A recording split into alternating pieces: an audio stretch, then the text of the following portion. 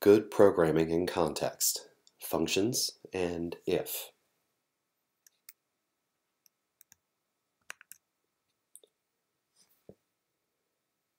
Okay, so I have two programs. One is called even.py, one is called even.sh, and I want to show you that they do the same thing. So I could run even.sh, and it's going to prompt me for an integer. Okay, and we find out that the number 5 is odd. I could run it again, enter negative 2, and negative 2 is even. Now, even.py will do the same thing. Can't have a q. Uh, this one should be odd. It is.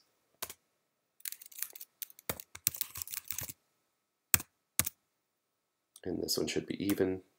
And it is. Okay. So these two programs are performing exactly the same thing. Ask for a number, the user gives a number, the program returns whether that number is even or odd. What I want to do now is look at these two programs side by side.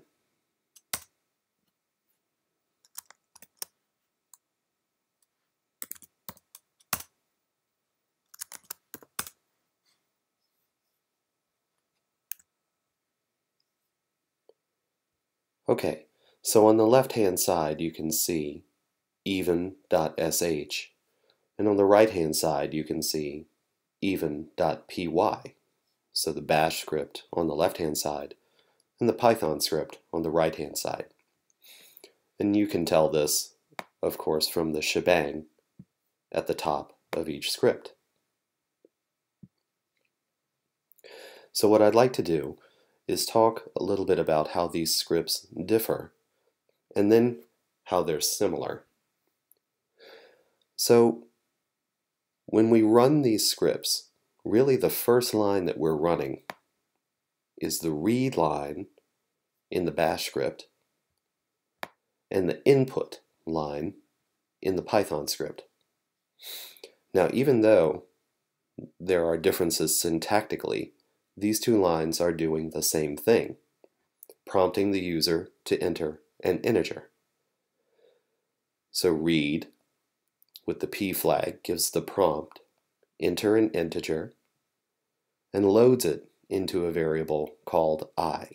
So the value entered by the user is loaded into the variable i. The input function in Python does exactly the same thing. Input takes as its argument a string to prompt to the user. So we put a string between these parentheses. That's the argument. And then what the user inputs is stored in this variable i.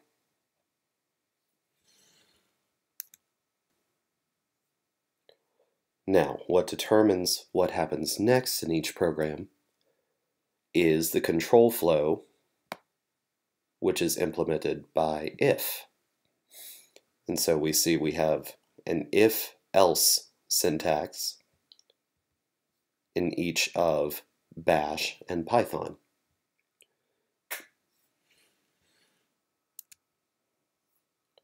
Now first I want to explain what this operator does, the percent sign. The term for this is modulo.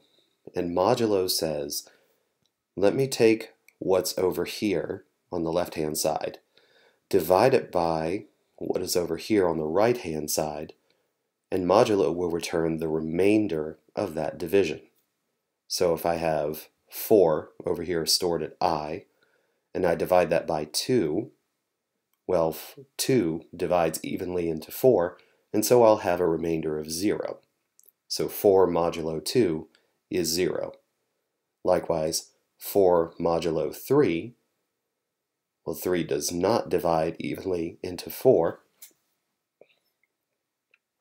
And so that would give us a different modulo. The remainder there would be 1. Well, so that's how modulo works. When reading code aloud, code that includes the modulo operator, it's often heard to be shortened to mod, so it would not be unusual to hear me say, for example, 4 mod 2 or 3 mod 2. Modulo of 2, so anything mod 2, has the side effect of splitting the results into a set of evens and a set of odds. Think about it. 4 mod 2 2 divides evenly into 4, and the modulo is 0. The result is 0. 3 mod 2, 2 does not divide evenly into 3, and so 3 mod 2 is equal to 1.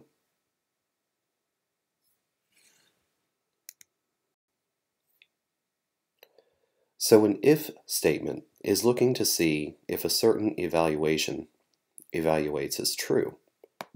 So in this case, whether whatever value is stored at i divided by 2 gives a remainder of 0. If that statement does turn out to be true, that is, if i mod 2 is 0, or another way to think of it is, if i is even, then we will execute the code underneath if. Else, this is the code that is executed if this statement does not evaluate to true. That is, if i mod 2 evaluates to something other than 0. Definitely a 1. So if 1 is evaluated here, then we will execute the code in else.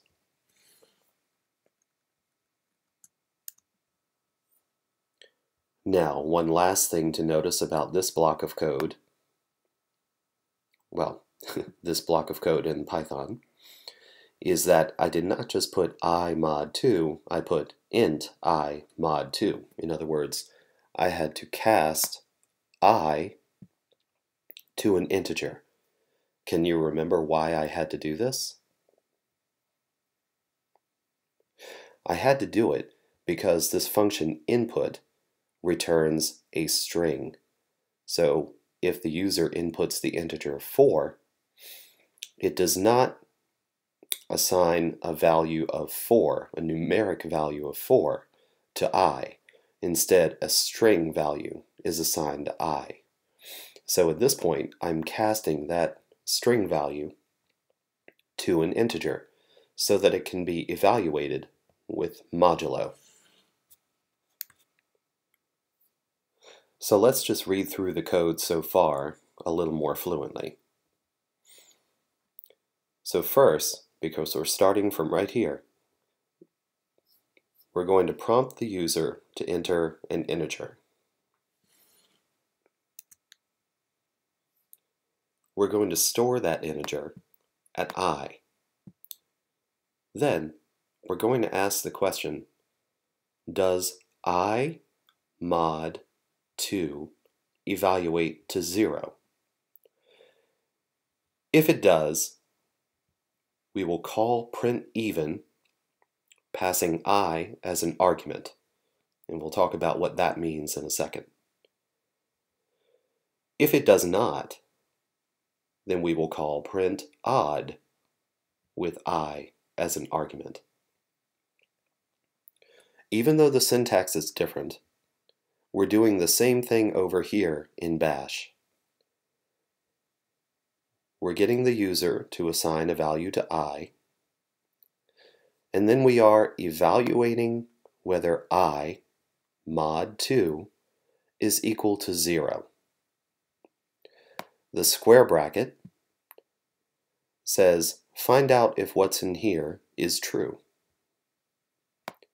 The dollar sign double parentheses says do some integer evaluation inside of these parentheses. In this case, we're expanding the value stored at i using the dollar sign curly brace syntax, mod 2, and then this expression gives us a value to compare with 0, specifically whether or not that value is equal to 0, specified by EQ for equal. If this evaluates to true, then call print even, passing the value stored at i as an argument. If it does not evaluate to true, call print odd with the value stored at i as an argument. And then bash requires fi to end the if.